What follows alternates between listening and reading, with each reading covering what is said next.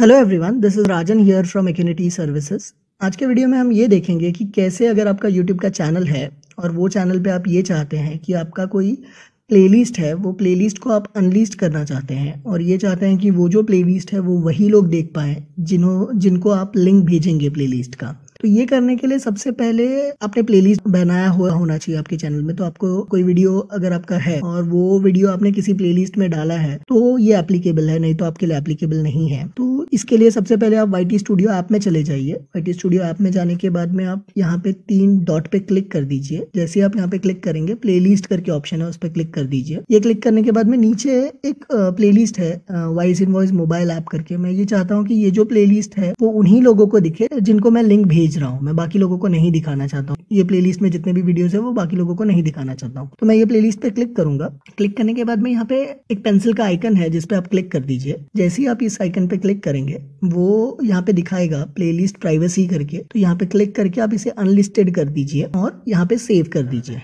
Unlisted करके आप save कर दीजिए। जैसे ही आप सेव करेंगे, इसे रिफ्रेश करेंगे तो यहाँ पे जो आइकन था ग्लोब का, वो चेंज होके अभी दूसरा आइकन आ गया ये इंडिकेट ये करता है कि ये जो प्लेलिस्ट है, वो अभी अनलिस्टेड हो गया है। तो जो भी यूज़र्स है, अगर वो बाहर से आपके चैनल पे आते हैं तो उसे ये प्लेलिस्ट नहीं दिखेगा। ये प्लेलिस्ट उन्हीं को दिखेगा जिनको आप इस प्लेलिस्ट का लिंक भेजेंगे। तो अगर आप सोशल मीडिया मार्केटिंग और डिजिटल मार्केटिंग रिलेटेड ऐसे और भी इंटरेस्टिंग वीडियोस देखना चाहते हैं तो आप हमारे चैनल को सब्सक्राइब करें और नीचे दिए गए बेल आइकन को दबाएँ, जिससे फ्यूचर में जब भी हम नया वीडियो डालेंगे तो आपको नोटिफिकेशन आएगा। Thank you